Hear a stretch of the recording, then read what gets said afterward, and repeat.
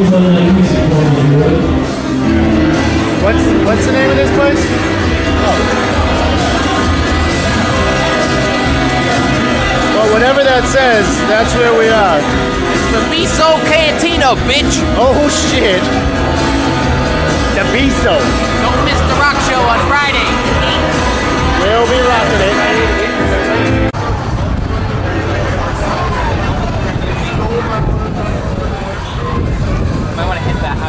looks like maybe headed back now.